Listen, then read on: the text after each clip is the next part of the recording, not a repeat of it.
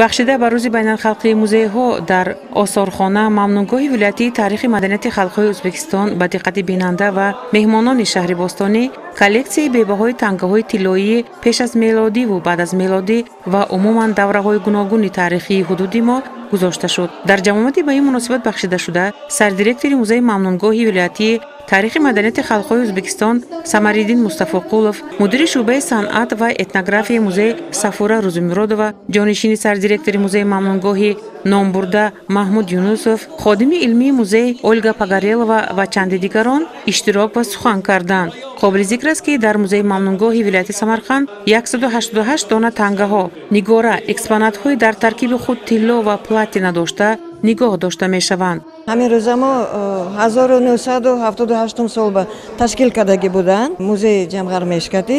Ҳамон вақт то ин вақта мо ҳар соли 8 май ба ҳамин байрам ба коллексияи нава намоиш мекунем. Ман ҳамин рӯзам табрик мекунам ҳама музеи ходимҳоя таърихчиҳоя археология забоншиносоя табрик мекунам. Имрӯз бо якта коллексияи нава мондагимон ҷидду ҳам қиматбаҳо чизоя якум марта бурардагомоям гӯмам адаш намекунам. 188 осори атиқае буровардем каме как витрина бошадам дар нашба ҷидду ҳам чизои қиматбаҳо аз тарафи археолого охдарёба шаҳристоноба ёфтагӣ самарқанд африсёб шаҳристонашба ёфтамондагӣ ва зебу зеварои қадима нуздаҳум асра зебу зеварош. Дани ҳамин ҳоба якта танги ноёб аст ҷидду ҳам танги даври пеш аз милод чорум аср ба мансуб даври александр македонский ба мос мебиёд.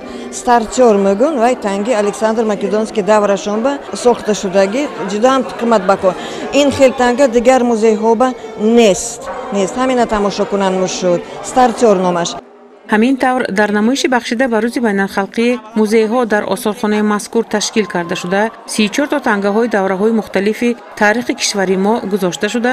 Ини суҳбат мутахассиси соҳа пагарелова гуфт ки тангаи аз ҳама қадимтарини намоиши мазкур ин тангаи статери давраи искандари мактунӣ александр македонский буда. Он мансуб ба асри чоруми давраи то мелодиро дар бар мегирад К сожалению, эта монета попала к нам в составе частной коллекции и была собрана на территории Причерноморья, но жители Самарканда были знакомы э, с монетами Александра Македонского, в частности, золотыми монетами, которые назывались статорами.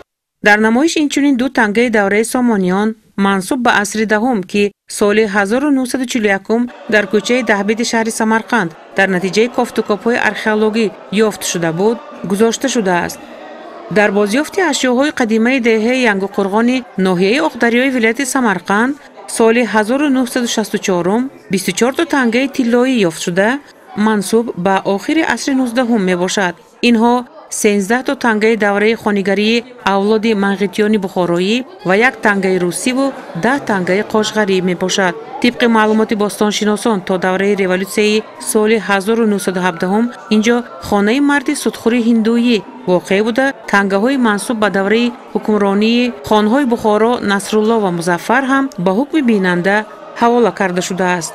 Якта российский рубль гӯемам ин хел э, вазбин аз мис сохтагӣ ва ин хел танга фақат сетекак дунёба сетекак аз ҳамун сеш яктеш музеи моҳонба ҳамин рӯз якум марта namoyish буровардагӣ беғарзава як yagala zebu zevaru namoyish qaysi bu yil tashkil etilgan ko'rgazmamiz samarqand muzey durdonalari turkumidan tashkil etilgan ko'rgazma hisoblanib bu ko'rgazmamiz samarqand muzeyi oltin xazinasidan deb nomlanadi bu ko'rgazmada muzey fondlarimizda saqlanayotgan maxsus fondlarda saqlanayotgan eng noyob aynan tilladan ishlangan eksponatlarimiz muzey ashyolarimiz namoyish etilmoqda. Eramizdan avvalgi to'rtinchi asrda aleksandr makedonskiy davriga oid bo'lgan tilla tangalar eramizdan avvalgi birinchi ikkinchi asrlarga oid kushonlar davriga oid bo'lgan tilla tangalar bundan tashqari buxoro xonlariga oid tilla tangalar samoniylar qoraxoniylar davriga oid bo'lgan tilla tangalar bilan birgalikda qadimgi davrlarga oid bo'lgan noyob zargarlik buyumlari tilladan ishlangan. Zargarlik buyumlari